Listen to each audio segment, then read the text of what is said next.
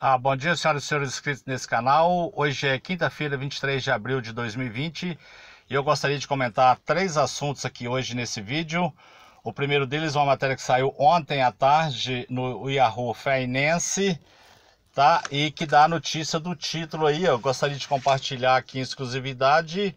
É, o coronavírus poderia oficialmente travar startups de crescimento a qualquer preço. Então veja bem, a, a, a, matéria aqui é interessante, quer dizer, isso aqui já era algo previsível, né? Em função dessa pandemia e dessas perdas bilionárias mundo afora, o dinheiro vai ficar escasso. Embora as startups altamente procuradas continuem sendo financiadas, muitas não sobre, sobreviverão a, ao mundo pós-pandemia. Então veja bem, certamente a era das startups a que receberam avaliações altíssimas com base na TAM, mercado eh, endereçável total, sem um caminho para lucratividade, já estava chegando ao fim. Mas a, a crise global da saúde está acelerando essa mudança. Com certeza, mais empresas falharão, pois o capital está menos disponível.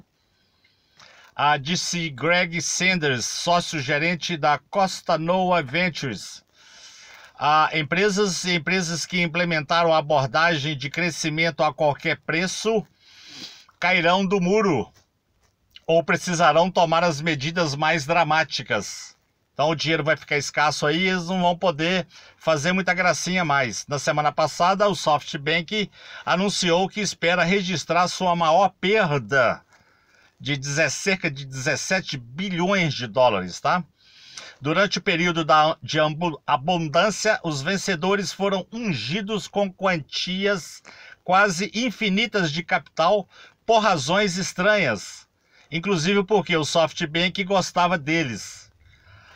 Ajuste descendente de avaliações. Eric Kim, sócio-gerente da VC Goodwater Capital, focada em tecnologia do consumidor no Vale do Silício, antecipa que o mercado levará dos oito meses para digerir e se adaptar totalmente a um mundo pós-pandemia. Então, as coisas vão ficar difíceis para esses startups e esses aplicativos picaretas. Vamos aguardar para ver o que, que vai acontecer no futuro. Muita gente fica me chamando aqui, me perguntando quando que a Uber vai quebrar.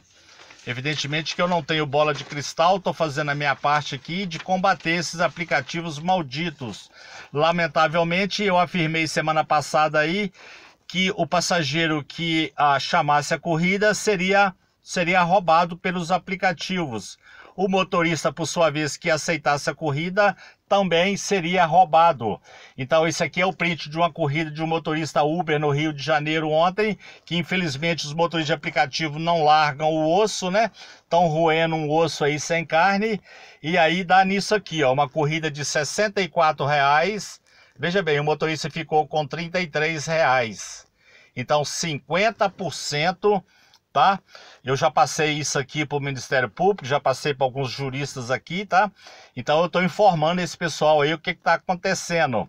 Então eles falam no contrato 25% e aqui eu já estou desmascarando essa mentira, né? Foi o que eu falei, o motorista aceitou a corrida, ele vai ser roubado, é pedir para ser roubado né? Essa corrida aqui é de 25 quilômetros, mais de 25 quilômetros. E se fosse no táxi aqui em Belo Horizonte, o taxista ficaria aí em torno de 75 reais, maior do que o valor cobrado a de 64 que a Uber cobrou do cliente. Né? E o dinheiro ficaria aí, os 75 seria a, a todo do taxista, né? Uh, uh, enfim, enfim, com uma pequena porcentagem de comissão lá que fosse o aplicativo que ele tivesse. Bom, então é isso aí. A Uber vai quebrar quando? Vai quebrar quando os motoristas pararem ah, e saírem dessa plataforma maldita. A, a outra matéria que eu gostaria de compartilhar aqui é essa aqui, lamentável, tá? A atitude da 99 com relação à parceria com a Prefeitura do Rio de Janeiro. Olha bem aí, ó. Ah, olha bem, usou a imagem do táxi, isso aí deu um quebra-pau lá no Rio de Janeiro, né? E a prefeitura teve que tirar a foto do táxi aqui, ó. Coronavírus, Prefeitura e Aplicativo 99 fazem parceria para transportar mães e idosos após alta hospitalar. Isso aqui é uma malandragem, tá? Isso aqui é uma vagabundagem da 99 usando, usando da crise da pandemia para poder fazer esse marketing oba-oba. Alguém vai pagar essa conta. Chinês não vai dar nada de graça para ninguém, não. Então, ah, tem gente que acha aqui que eles já estão tirando da conta da sonegação fiscal que eles fazem, né? Se não tiver tirando de lá, eles vão tirar de algum, de algum lugar, ofertando corrida gratuita aí. Aí o que acontece? O taxista que tem o aplicativo da 99 como cliente, ele dentro do carro, ah, dentro do táxi dele, né, na condição de cliente, ele fez uma solicitação de um táxi para poder participar dessa campanha. A resposta do aplicativo, nenhum táxi é encontrado. Ou seja, é pura malandragem aí. Os taxistas do Rio de Janeiro, principalmente, né, depois dessa aqui, deveriam ah, deveriam sinceramente abandonar esse aplicativo chinês maldito que está direcionando as corridas lá para o pop. Então é manipulação pura, né? Pura manipulação. E aí, enquanto os motoristas da, da, Uber não abandonaram esse aplicativo maldito, enquanto os taxistas não abandonaram a 99 Pop, nós não vamos chegar a lugar nenhum. De qualquer maneira, a minha saga continua aqui e eu vou continuar na minha batalha, mesmo que fosse sozinho, isolado tá? Ah, queria dizer aí que a 99 está bloqueando aí motorista, né?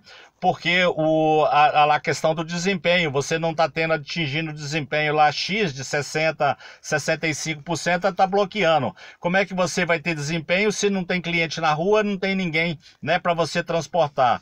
Então, é, é, tá, é, tá aí essa balela e queria dizer que a 99 está fazendo isso aqui porque o prefeito de Londres, né, o Sadiq Khan, cortou lá, cortou a licença da Uber. A Uber está sem licença lá em Londres e está operando porque foi lá bater nas barras do Tribunal da Justiça. Então, judicializar a questão e é por isso, é simplesmente por isso, que a Uber está rodando em Londres. Então, estão querendo fazer lá, né, esse esse oba-oba aqui, de querer fazer uma grada aí para o pessoal que está trabalhando, médicos, enfermeiros, o pessoal que está trabalhando na pandemia e vem com essa bobagem aqui, né? Isso aqui é uma pura enganação da 99 e que depois a conta vai vir para alguém pagar. Bom, com relação ao Uber quebrar ou não quebrar, eu queria dizer que a imprensa quer ver a Uber viva. Os corruptos querem ver a, a Uber viva. Né? Os motoristas que estão na plataforma querem ver a Uber viva. O governo quer ver a Uber viva porque supostamente está dando emprego e está ajudando eles lá no, no índice de, eh, de menos desemprego, né? E, e aí, os advogados, outro dia eu conversando com os advogados, falaram: você não pode matar, destruir a Uber, porque nós precisamos da Uber viva. Os advogados querem tomar dinheiro dos aplicativos e estão certo. Eu, por minha vez, gostaria de desligar o aplicativo, mas eu não tenho poder para isso. Os motoristas que foram expulsos da plataforma querem ver a Uber morta como eu. Então é o time de lá contra o time de cá. Vamos ver quem é que vai ganhar esse jogo. Gostaria de agradecer a paciência de todos.